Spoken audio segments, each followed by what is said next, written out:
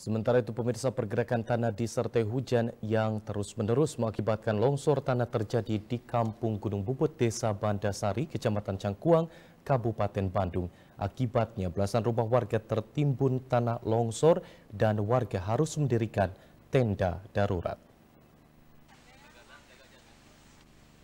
Sedikitnya 17 kepala keluarga di Kampung Gunung Bubut, Desa Bandasari, Kecamatan Cangkuang, Kabupaten Bandung harus mendirikan tenda darurat.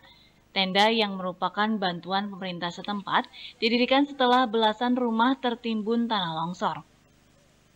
Hingga saat ini bantuan dari pemerintah terus berdatangan mulai dari kebutuhan pokok sampai obat-obatan. Beruntung dalam kejadian ini tidak ada korban jiwa, namun kerugian ditaksir mencapai jutaan rupiah. Waktu kemarin hujannya dua hari dua malam nggak berhenti, terus terjadi ledakan, di mana ledakan itu menghasilkan jatuhnya tanah ke daerah ke pemukiman warga, tergantung saya sendiri yang itu sama korbannya.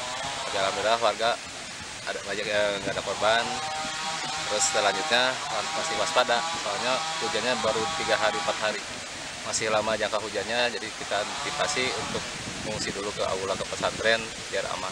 Ada berapa kakak mungkin yang mengungsi? Semuanya 17 kakak. Warga berharap pemerintah segera merelokasi mereka ke tempat yang lebih aman karena ditakutkan terjadi longsor susulan. Rezi Tia Prasaja, Bandung TV.